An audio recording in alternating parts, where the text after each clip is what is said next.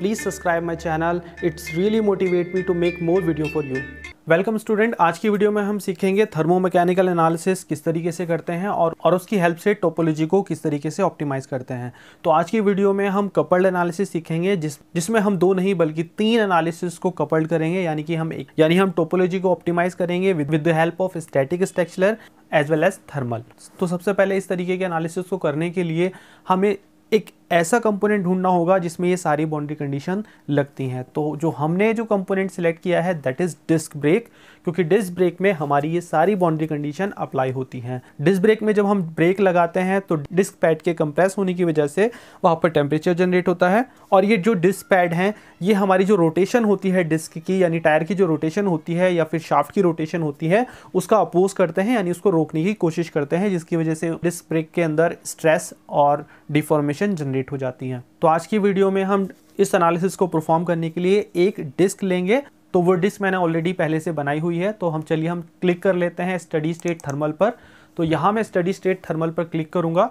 Click करने के बाद आप यहाँ से मटेरियल डिफाइन कर सकते हैं, जो भी मटेरियल आप चाहें। यहाँ मैं मटेरियल डिफाइन इसलिए नहीं कर रहा, क्योंकि मैं सिर्फ़ आपको सिखाना चाह रहा हूँ। अगर आप चाहें तो आप मटेरियल डिफाइन कर सकते हैं। अगर आपको मटेरियल डिफाइन करना नहीं आता तो उसके लिए डिस्क्रिप्शन में मैंने एक वीडियो का लिंक दे दिया है, जहाँ पर जाकर आप सीख सकते हैं कि एनसिस में किस तरीके से मटेरियल को डिफाइन करते हैं। तो चलिए हम ज्योमेट्री को इंपोर्ट कर लेते हैं, हम राइट क्लिक करेंगे ज्योमेट्री पर। देन आप जहाँ भी आपने ज्योमेट्री को सेव किया है, वहाँ जाकर आप ज्योमेट्री को इंपोर्ट कर लेंगे। तो ये ज्योमेट्री हमारी इंपोर्ट हो चुकी है। डिस्क ब्रेक हमारा कुछ इस तरीके का दिखता है। ये हमारा डिस्क ब्रेक है। तो चलिए इसमें हम बाउंड्री कंडीशन लगा देते हैं। तो हम यहाँ पर स्टडी स्टेट थर्मल में जाएँगे, यहाँ पर इंसर्ट करेंगे इंसर्ट करने के बाद हम यहाँ पर टेम्परेचर लगा देंगे। तो जो टेम्परेचर हमारा जनरेट होता है, वो हमारी इस वाली लेयर पर जनरेट होता है क्योंकि जो हमारे डिस्क ब्रेक के डिस्क पैड होते हैं, वो यहाँ पर अटैच करते हैं। तो यहाँ पर मैं क्लिक करूँगा, इसी तरीके से मैं अपोजिट साइड भी क्लिक करूँगा। ये जो ग्रीन कलर से सिलेक्ट हो गया है, ये वो रीज़न है जहाँ पर हमारा टेम्परेचर अप्लाई होता है या फिर टेम्परेचर जनरेट होता है जब हम डिस्क पैड को प्रेस करते हैं। तो यहाँ पर हम अप्लाई पर क्लिक कर देंगे। देन आप टेम्परेचर आप यहाँ से दे सकते हैं, जो कि अभी 22 लगा हुआ है, आप इसको बढ़ा सकते हैं। यहाँ पर हम टेम्परेचर 100 डिग्री सी का अप्लाई कर रहे हैं तो ये टेम्परेचर यहाँ पर लग चुका है। ये टेम्परेचर अप्लाई करने के बाद आप यहाँ पर इंसर्ट पर क्लिक करेंगे और यहाँ पर जाएँगे कन्वेक्शन पर। तो कन्वेक्शन पर जाने के बाद हम वो एरिया सेलेक्ट करेंगे, जो कि हमारी हीट को डिसिपेट करेगा। तो एक तो ये एरिया है जो हीट डिसिपेट करेगा देन इसके पीछे की साइड वाला। तो ये वो एरिया है जहाँ से हमारी हीट का डिसिपेशन होगा।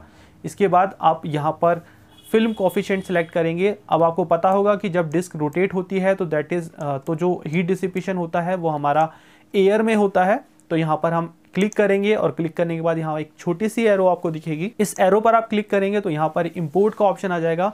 इंपोर्ट टेम्परेचर यहाँ क्लिक कीजिएगा। यहाँ क्लिक करने के बाद आपको यहाँ पर स्टैंडर्ड एयर दिख जाएगी। यहाँ पर आप क्लिक करेंगे और ओके कर देंगे। तो अब जो हीट डिसिपेशन होगा हमारा, वो स्टैंडर्ड एयर में होगा।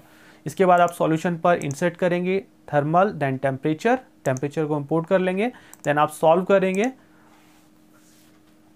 सॉल्व करने के बाद आप देखेंगे जो टेम्परेचर का डिस्ट्रीब्यूशन है, वो आपके सामने यहाँ पर स्क्रीन पर आ जाएगा।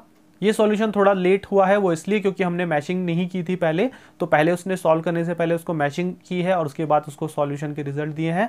आप चाहें तो पहले मैशिंग भी कर सकते हैं। राइट क्लिक करने के बाद जनरेट पर क्लिक करेंगे तो मैच बन जाएगा। ये ऑलरेडी मैच बन चुका है।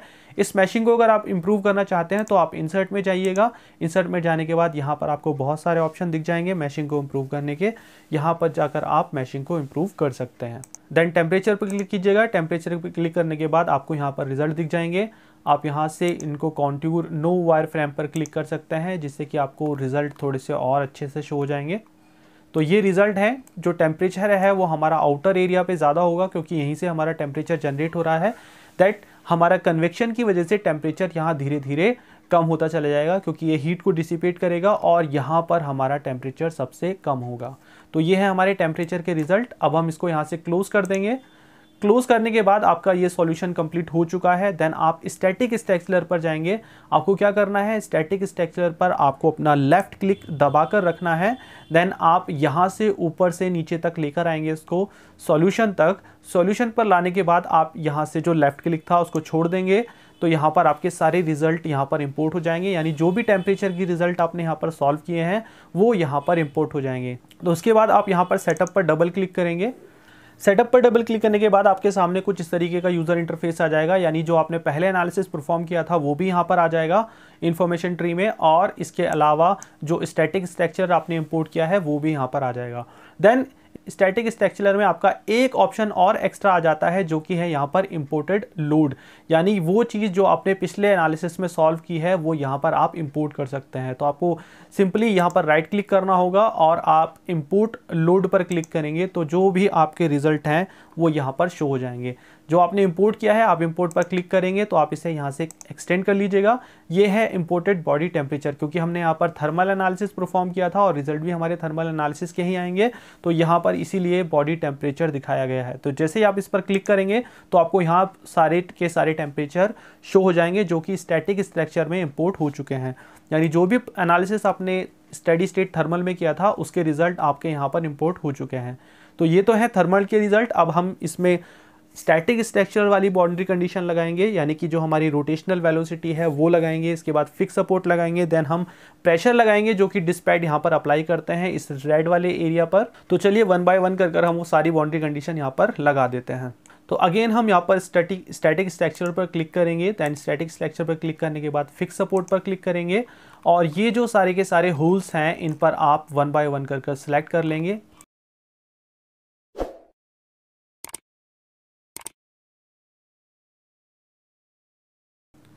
देन जब आप ये सारे के सारे होल सेलेक्ट कर लेंगे, जैसे कि आप देख पा रहे होंगे ये ग्रीन कलर से सिलेक्ट हो गए हैं, आप यहाँ पर अप्लाई पर क्लिक करेंगे तो यहाँ पर ये सारे के सारे होल सेलेक्ट हो जाएँगे। जहाँ पर हमारा ये डिस्क ब्रेक स्क्रू के थ्रू टाइट रहता है, वहाँ से हमने इसको फिक्स कर दिया है और हम इसको एक रोटेशनल वेलोसिटी प्रोवाइड कराएँगे। साइड बाय साइड हम यहाँ पर प्रेशर भी लगाएँगे जो डिस्क पैड यहाँ पर लगा रहे होंगे। तो हमने फिक्स सपोर्ट लगा दी है देन आप अगेन स्टैटिक स्ट्रक्चर पर क्लिक करेंगे इंसर्ट में जाएँगे। आप यहाँ पर प्रेशर पर क्लिक करेंगे तो प्रेशर पर क्लिक करने के बाद मैं ये वाला फेस सिलेक्ट कर लूँगा और अप्लाई पर क्लिक कर दूँगा तो यहाँ पर मेरा प्रेशर लग चुका है। वैल्यू यहाँ पर दूँगा फॉर एग्जांपल 0.5 ये 0.5 मेगा पास्कल का प्रेशर इस साइड से लग रहा होगा और इसी तरीके से 0.5 मेगा पास्कल का प्रेशर इस साइड भी लग रहा होगा। तो अगेन मैं सिलेक्ट करने के बाद वापस से स्टैटिक सिलेक्चर में जाऊँगा इंसर्ट में देन प्रेशर में और ये फेस मेरा यहाँ पर सिलेक्ट हो जाएगा। देन अगेन जो मैग्नीट्यूड है, उसको मैं वापस से फ़ीड कर दूँगा 0.5 एंटर कर दूँगा। तो अब आप देखेंगे कि आपके दो प्रेशर लग चुके हैं। अगर मैं स्टैटिक स्ट्रक्चर पे क्लिक करूँ तो यहाँ आप देख पाएँगे कि आपके दो प्रेशर लग चुके हैं।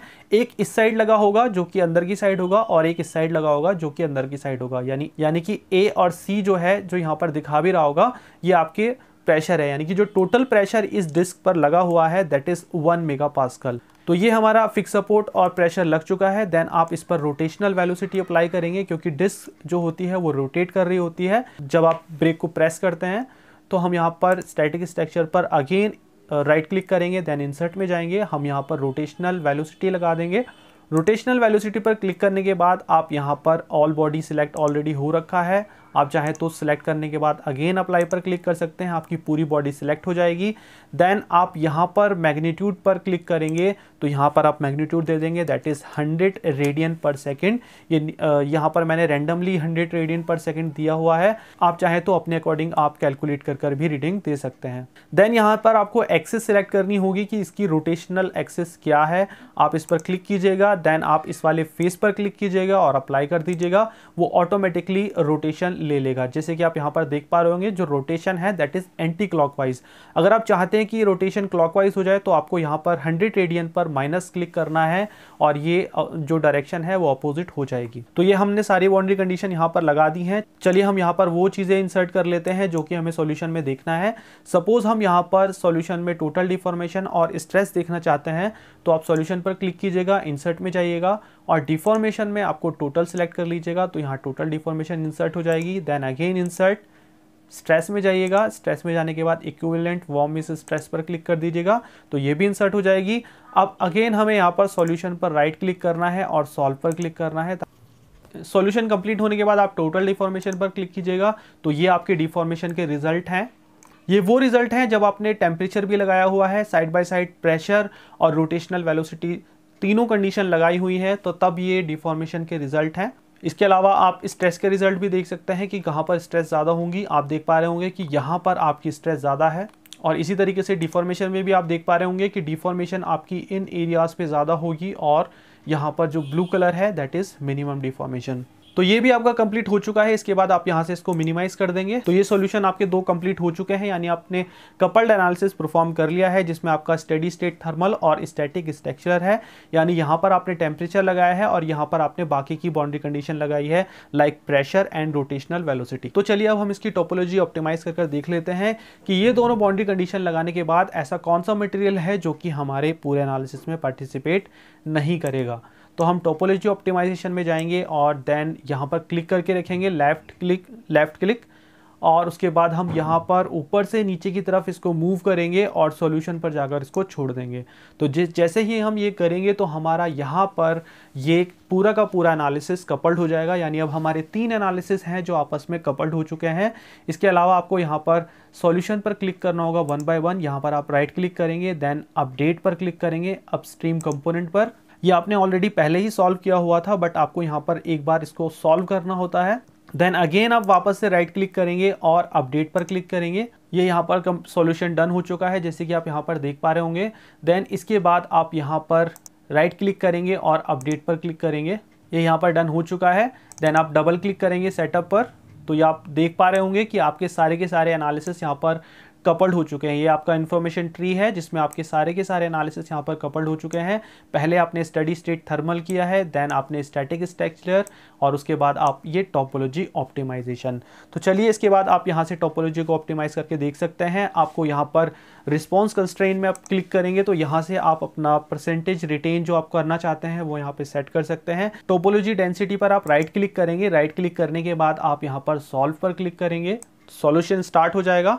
तो ये है आपके टोपोलॉजी ऑप्टिमाइजेशन के रिज़ल्ट जो कि मैं आपको थोड़ा जूम कर कर दिखा रहा हूँ ताकि आप थोड़ा अच्छे से देख पाएँ। जब आप टोपोलॉजी ऑप्टिमाइजेशन को परफॉर्म करते हैं तो यहाँ से वो सारा मटेरियल रिमूव हो चुका है, जो कि आपके एनालिसिस में पार्टिसिपेट नहीं कर रहा होगा, यानी जिस पर कोई भी स्ट्रेस या स्ट्रेन जनरेट नहीं हो रही होंगी।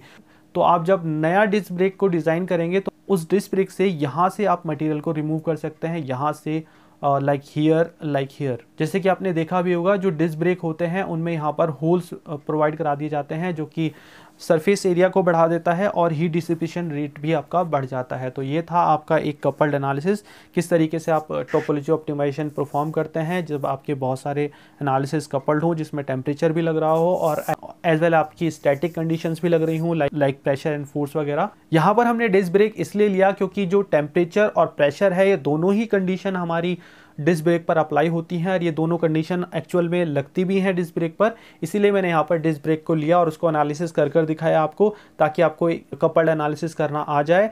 आप चाहे तो इस एनालिसिस को किसी और कंपोनेंट पर भी ट्राई कर सकते हैं और और देख सकते हैं कि वो मटेरियल किस तरीके से ऑप्टिमाइज हो सकता है और कहाँ से आप मास जो अनवांटेड मास होता है, उसको रिड्यूस कर सकते हैं। तो आई होप कि आपको वीडियो पसंद आया होगा। इसी तरीके की वीडियोस को फ्यूचर्स में देखने के लिए please subscribe the channel thank you for watching thank you for watching please subscribe the channel for more related videos